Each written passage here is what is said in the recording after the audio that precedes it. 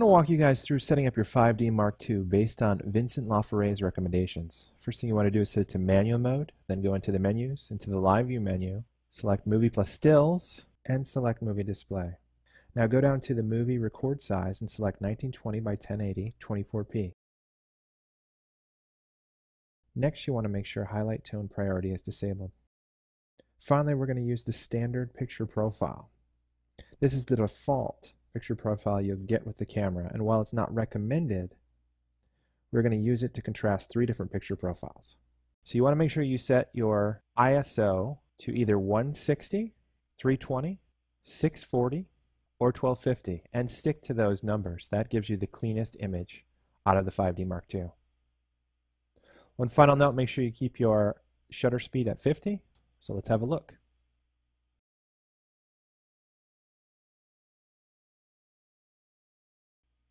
All right, let's go back and change the picture profile. We'll go to user define one to set up the Vincent recommended picture profile. We're going to set it to neutral, make sure sharpness is all the way down, contrast set at negative 4, and saturation at negative 2.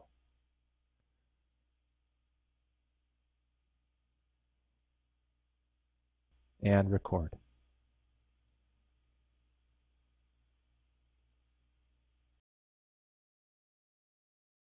Finally, I want to use Technicolor CineStyle. This is a profile that needs to be installed on your camera.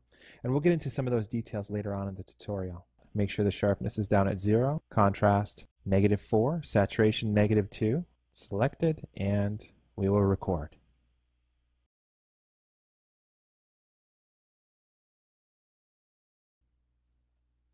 As far as Vincent's recommendation for picture profile, use his neutral setting or use the CineStyle profile.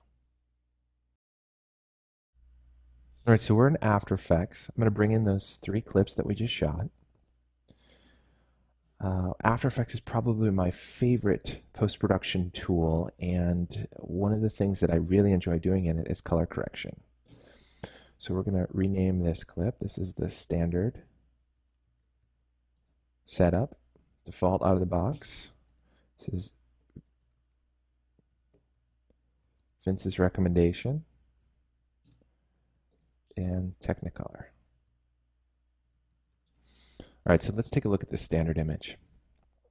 Now, the reason that we're showing you guys this is, in our opinion, it's really important to record as much dynamic range as possible to give you the most flexibility when color correcting. Now, this workflow is all about color correction. You're going to have to do color correction. If you look at this image, things that I'm noticing, it's got a pretty aggressive grade on it. It's very contrasty, very saturated, in my opinion, overly sharpened. If you take a look at the histogram, you can see it stretched from edge to edge, from highlights to shadows. These represent the midtones, and that is representative of a very contrasty image. Now, on a side note, the histogram, it's imperative that you monitor uh, what's going on when doing color correction with different monitors, histograms, scopes. And this can be found, this isn't standard within After Effects. This is a plugin called Test Gear. We've got waveform monitors, vector scopes, histograms, a lot of different utilities that really help you dig into color correction within After Effects. So I highly recommend it. And we'll be keeping an eye on this histogram as we go through this, this tutorial. So, like I said, it's all about maximizing the amount of information that you're recording off the 5D sensor. Now, the, the downside of this standard picture profile out of the box from Canon is that you're getting this very aggressive and overly sharpened image baked into your image, and there's no going back. So let's take a look at Vince's recommendation.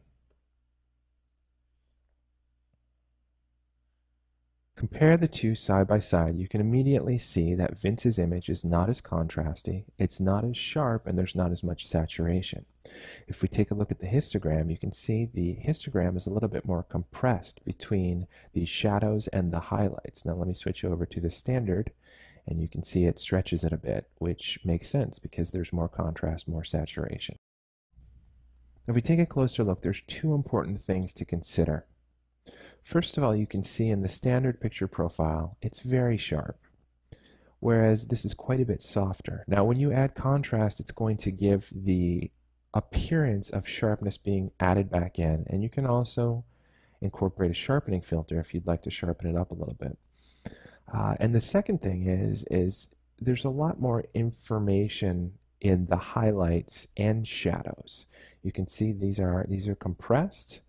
These are getting to the point where some of the blacks are right on the verge of being crushed and you can see here the roll off is a lot softer. You have more information in the shadows and the same goes for the highlights.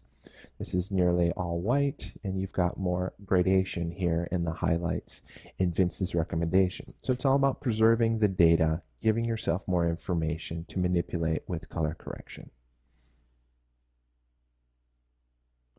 All right, so let's lock that and let's take a look at Technicolor.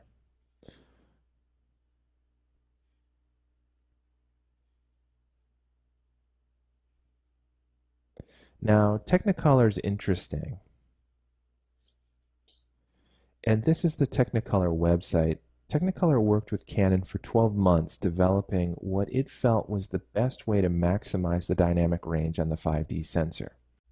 And they have the picture profile, the Cine style picture profile that you can download on their website and you have to install it on your 5D Mark II. And they also have what's called the LUT, which is a lookup table. And we'll get into a LUT here momentarily, but everything that you need to install the Cine style picture profile is on the Technicolor website. So if we take a look at the Cine style picture profile, you can see it's even flatter, it's even more compressed on the histogram than Vince's recommendation. It, it, has the same softness characteristics, but the saturation and contrast are even less. And it's a vast difference from the initial out of the box standard picture profile that Canon provides. All right, so let's do some color correction and let's take a look at Vince's recommended settings. I'm going to use a plugin called Colorista 2, which is from Red Giant Software and it's one of my favorite color correction tools within After Effects. I'm going to go down to the master section and what I want to do is I want to boost contrast and saturation. So I'm going to go down to this contrast control. I'm going to add some more contrast. And, and what you can see is it's stretching this histogram from shadows to highlights. And this is similar to the histogram. This is introducing an S-curve. So these are the shadows, these are the highlights. It's pulling the shadows down, lifting the highlights, which is creating contrast and boosting overall saturation. I want to lift the midtones a bit. And I'm going to increase saturation just a bit. Now this is giving us something similar to the standard picture profile in terms of contrast and saturation. If we lock this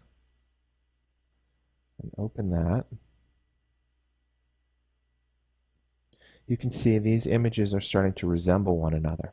Now, one of the main differences is this isn't as sharp, whereas this is, like I said, in my opinion, overly sharpened. All right, so let's check out this Technicolor picture profile. This is the flattest of them all, a very compressed histogram and what I'm going to do is I'm going to use a plugin called LUT Buddy. Let's explore LUTs a bit. Now I could easily throw on Colorista 2, introduce a contrast curve, an S curve, and beef up this contrast, much like we did with Vince's recommendation.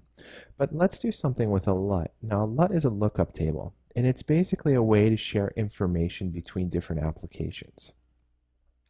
What I'm going to do is I'm going to import the LUT that I downloaded from the Technicolor website.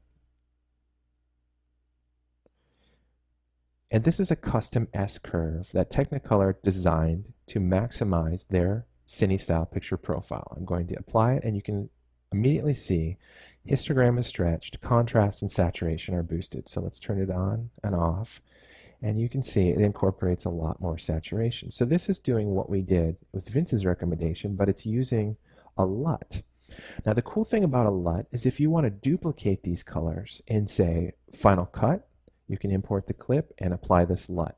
If you want to do it in DaVinci Resolve or high-end applications such as Autodesk, uh, flame or smoke, you can utilize a LUT. All right, guys, so that's it. It's all about maximizing dynamic range and giving yourself the most flexibility in terms of color correction. Hopefully this helped you understand the differences between the standard Vince's recommendation and the Technicolor Cine style profile. And I appreciate you guys taking some time to watch. Thanks a lot.